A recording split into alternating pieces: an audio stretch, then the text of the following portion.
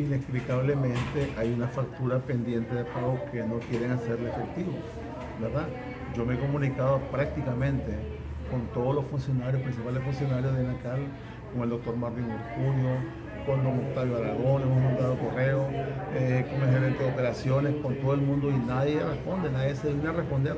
Es la factura número 96779.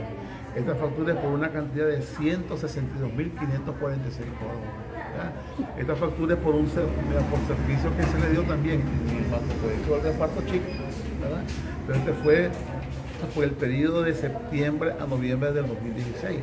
Y esta factura fue elaborada en el mes de marzo del 2017 y no la han querido pagar, no la quieren pagar. Eh, nosotros pues, nos, comunicamos con toda esa gente y nadie, nadie se digna responder. Y están todos los soportes, están la bitácora del uso del servicio, están las órdenes de compra, las órdenes, prácticamente todo. Están todos los soportes, está la factura, está el recibido de parte de ellos y no quieren pagar.